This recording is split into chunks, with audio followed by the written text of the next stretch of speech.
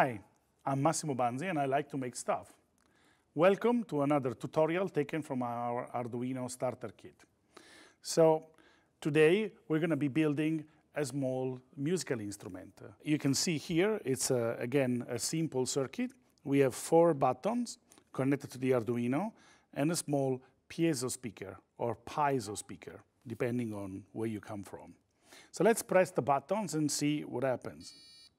So each button is associated with a note.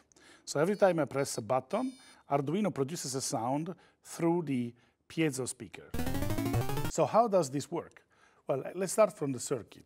You can see here there are four buttons, but the four buttons are connected to the Arduino board with just one wire. So in the previous examples, we've seen that for every button, we had a wire going to the Arduino board. We were using one digital pin to read each individual button.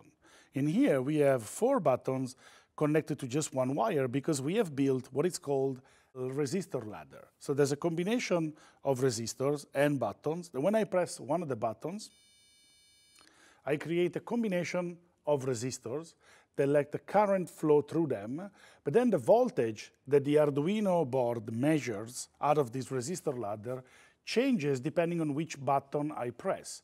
So each combination of button produces a different voltage.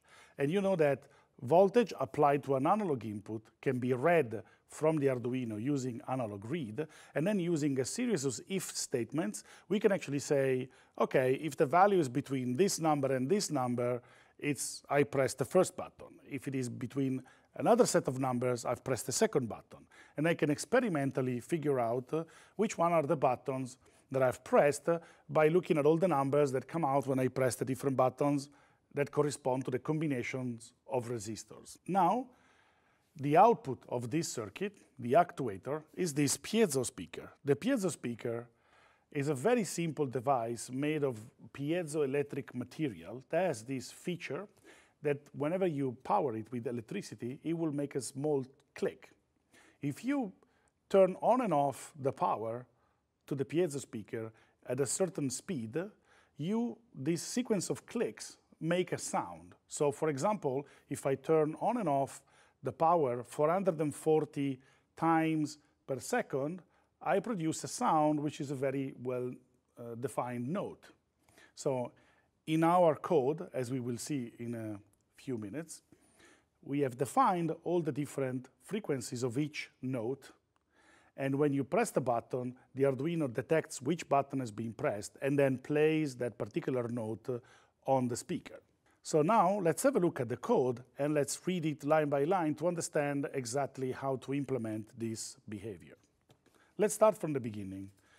You can see on this line that we are defining a new type of variable uh, called an array. So this is a variable called notes that contains four different integer values. Each one of these uh, integer value represents the frequency associated to a certain note. In particular, these are the middle C, D, E, and F notes. This will be useful later. When we detect which button has been pressed, we can then choose the right frequency to play on the speaker. Then we have the usual setup where we have a serial begin to begin a communication with the computer. So let's look at the loop now. The first thing we do, we create a variable called sounder that contains the value read from the analog input zero. That represents the combination of keys that have been pressed on the keyboard. Then we print that value on the serial monitor so that we can look at it on the computer. And then we start to understand which button has been pressed. So we do this by looking at the sounder variable using a set of if and else if statements to segment the value in different bands and which figure out in which band the value falls and each one of them corresponds to a sound. So at the beginning, when the value is 1023, then we know that we have to play the middle C. We are using a new function called tone. Tone is able to produce a sound on a small speaker or piezo speaker connected to a certain pin on the Arduino. The only thing we need to do is to, we need to say this is the pin where the speaker is connected to, in our case number 8, And then we have to specify the note. And that note will be played on that pin.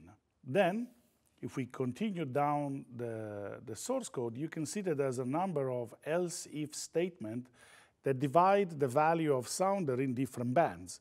So we have a band that goes between 920 and 1010 that corresponds to the middle D, a band that goes between 505 and 515 that corresponds to the middle E, and finally, a band that goes between 5 and 10 that represent the middle F. If none of this combination is actually uh, detected, then there's a final else statement that you can see here. This else statement calls this function called no tone that stops any sound being produced on a specific pin. So we say no tone 8, and this stops the, the sound. So let's try again the instrument and see how our software is actually uh, working here. In the same time, I will open my uh, serial monitor so that we can see the numbers while I press the button. So at the moment, we see a value which is uh, very close to zero, which represents the fact that no button has been pressed. So we press a button, and we get 1023. The second button is 1002. The third button is about 512 or something. And the last one is kind of in that sort of 15, 20 sort of value. So this is in a very simple way the, a small musical instrument that you can build very quickly with your Arduino, a piezo speaker, a few resistors, and a few buttons. So this is all for now, but remember, build it, hack it, share it, because Arduino is you.